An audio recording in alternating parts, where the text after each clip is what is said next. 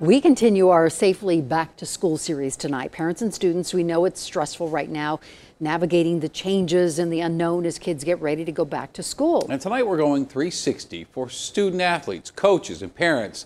What does fall sports looks like this year in the pandemic?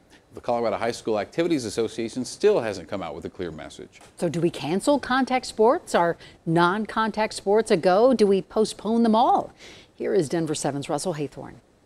Round two, ready, go! High school athletes are back on the playing field in Colorado. Oh, look at you, Baylor! These conditioning workouts for football players at Broomfield High are helping kids stay in shape for whatever's next. We all recognize there's there's not going to be a vaccine by the fall. So the reality of is can we do this? Can we participate in a way at the same time keep kids safe? It's not as easy as say let the kids play. There has to be a way that athletics doesn't undo everything that our schools have been asked to do. So we're going 360 on the possibility of high school athletics and activities returning this fall.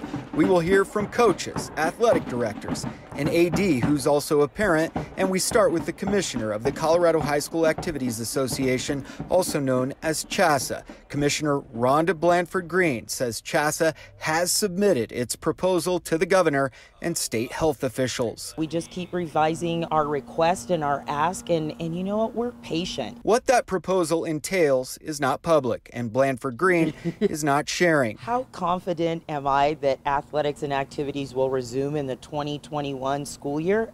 Absolutely. I feel like we can make that happen. That brings us to district leaders like Broomfield Athletic Director Steve Shelton. I would say we're cautiously optimistic. I think we're coming down to crunch time.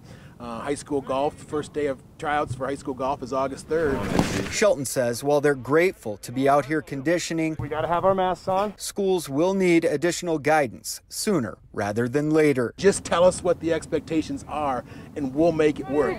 He says the vast majority of student athletes, parents, and coaches, how many more we got? At least at his school, are ready to return. Most of them are saying, we're okay taking the risk. We're okay. We understand that there's there's a chance that someone's going to get sick. It's going to happen at some point, but we value this activity enough that we're going to take that risk. Oh, oh, good job, good job. We split it up 25 and 25. We'll have 25 kids out here, 25 kids inside in the weight room, social distancing.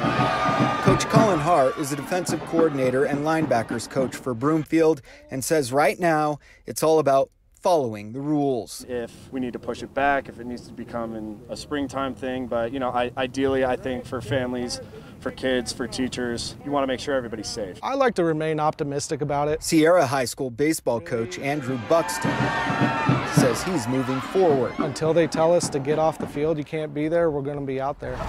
He's concerned the rules could be different district to district.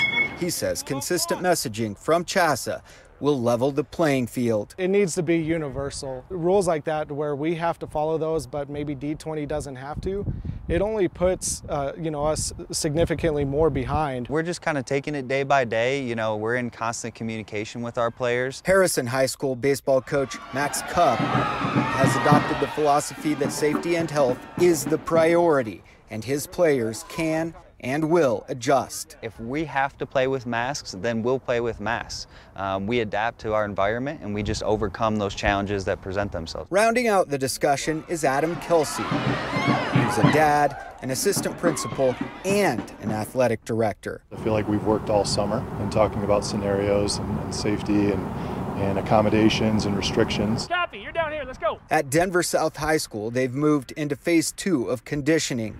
Quarterback and, and the receivers can, can run and throw routes.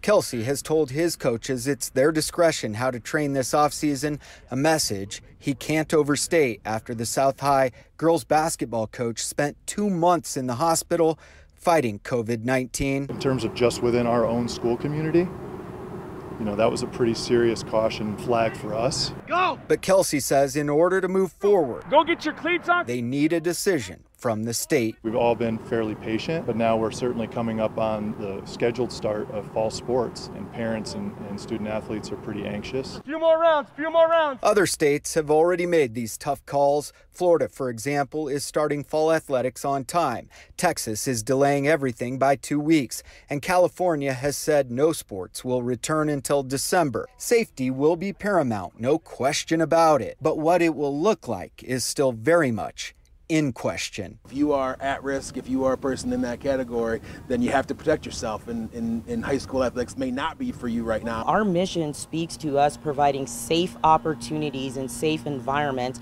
and we're not going to veer from our mission. Good job today, boys. Fun way to end it. Way to wear your mask. I know it's not the best way to breathe, but hey, we did it. Russell Haythorn, Denver 7. One, two, three, Eagles!